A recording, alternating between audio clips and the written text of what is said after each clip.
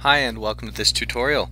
Here I'm going to show you how to use conditional formatting in order to highlight cells that meet a certain criteria within Excel, specifically um, uh, any cell that is greater than a certain value.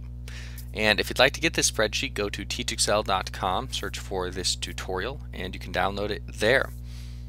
So what I've got here is a sample list of employees with their sick day count for an entire year. And some of them, such as Michael Scott and Creed Bratton, have been sick a lot. So here's the list. Now what I want to do is filter it. Um, or not, I don't want to filter it actually, it's the wrong word. I just want to highlight the cells that are greater than a certain value. Filtering is for a later tutorial. So what I want to do is highlight the sick days.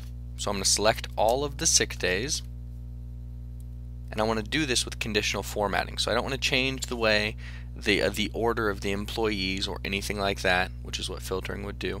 Just highlight them. So I've selected all the sick days. I'm on the Home tab, going to the Styles box, select Conditional Formatting. At the very top, you'll see Highlight Cells Rules. This the way they arrange this in 07 is really very helpful. So then select greater than. This box is going to open up and it's going to tell you to enter a number in here. What it's going to do is format the cells that are greater than this number. So who was sick for more than 15 days this year? You'll see as I type, it automatically updates the screen in the background. Pretty neat. Then over here, you can select one of uh, about six of these preset color arrangements and cell formatting arrangements or set up your own format, custom format. And here you can do any number of things. Custom borders, fonts, fill, how you want the number of the cell to look. For now we will stick with a traditional light red fill with dark red text. So select the number, click OK, and you're done. So check out the sick days column got highlighted in red everyone who was sick for more than 15 days, only three people. Kelly Kapoor being the third.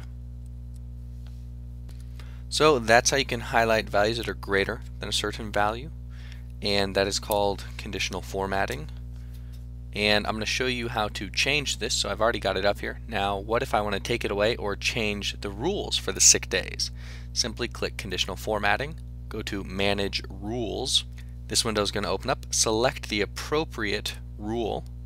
You can double click it and change everything here. So greater than what? Well, I can change it to be greater than 10 now.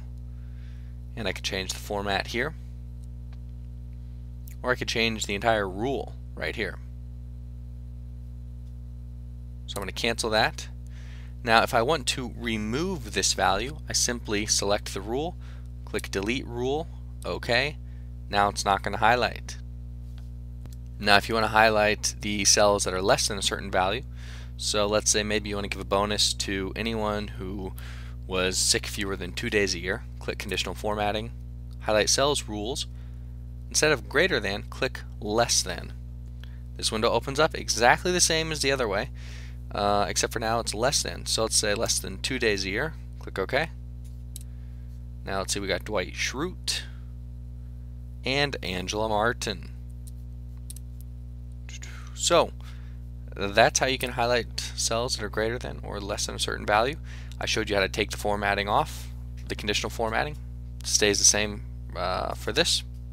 And that's about it. Uh, in reality, there's a lot more you might want to do to the data in terms of filtering and sorting, but uh, those topics are covered in other tutorials. So if you'd like to get this workbook, head over to teach, teachexcel.com search for the tutorial and you can download it there. That's it for this tip.